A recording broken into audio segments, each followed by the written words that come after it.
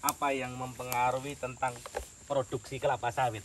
Jadi produksi Bunyinya bang, di Vitas sedap. itu yang mempengaruhi hanya tiga pak. Satunya lagi bro. Yang pertama adalah populasi per hektar. Ini angkanya antara 130 sampai dengan 145.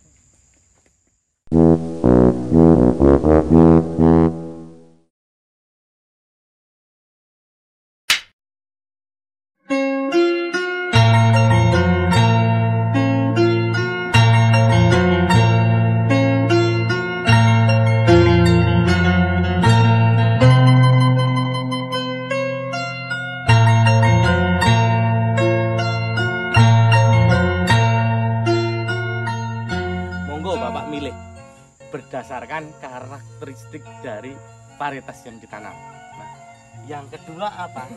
Tandan per pokok. Sini pohon apa pokok mudahnya? pohon Pohon sama aja Nah, per tahun. Nah, yang ketiga apa? BJR apa RBT di sini? BJR BJR Di yang ketiga adalah berat janjang rata rata. Jadi mau bagaimanapun bapak produksinya yang mempengaruhi cuma tiga hal. Nah kalau populasi kalau umurnya 10 tahun bapak nggak usah berpikir lagi. Kenapa? Karena nggak mungkin bapak ngulangi lagi kalau udah 10 tahun. Karena makanya ketika bapak nanam dalam satuan hektar sisip itu paling telat umur tiga bulan setelah tanam yang pertama. Jadi lima tahun Ya, makanya jangan kalau mau ngejar produktivitas. Iya. Kenapa? Karena semua pohon per satu pohon ini kontribusinya adalah 280 kilo. Jadi kalau belum dapat 281 kilo dalam satu tahun satu pohon, berarti belum selesai tugasnya. Pak punya sama, punya saya dapat 300, bersyukur alhamdulillah.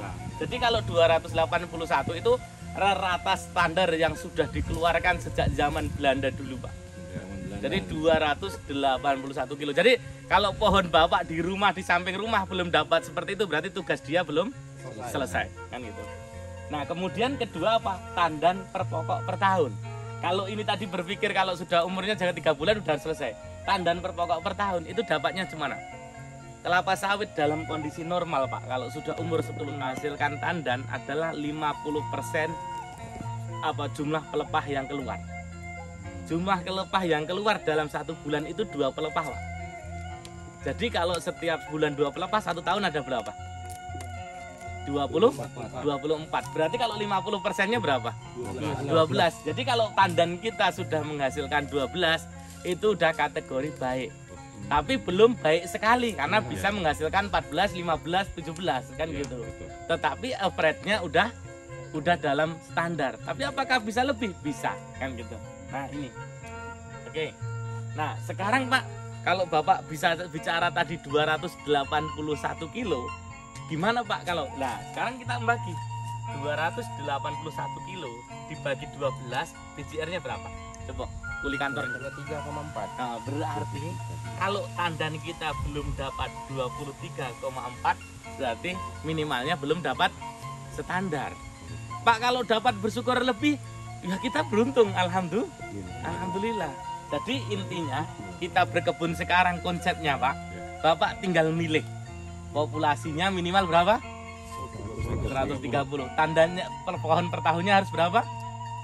Harus 12. 12. BJR-nya minimal harus berapa? 23. 20 24 lah ya. 24 ya. Nah, 24. Sebelum dapat itu berarti tanaman Bapak masih ada kekurangannya. Oke, ya. Udah fokus. Ya, kekurangannya. Nah, sekarang kita ini, ini mempengaruhi apa? Populasi. Berangkat dari populasi. Nah, punya Mas Darwo yang di areal rendahan berapa populasinya? Sampai ambil nanamnya. 125 125, 25. Oke. Mungkin karena ada pano nggak pas ya. Punya Mang Bang Sujana yang di bukit berapa sekarang dapatnya? Yang di mana Pak? Yang bukit yang baru ditanam. Yang 125 juga Pak. 125. Iya. Oke.